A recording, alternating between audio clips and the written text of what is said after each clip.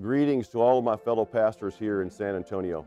My name is Gene Leffler, and I'm the new president of Lighthouses of Prayer International, located here in San Antonio.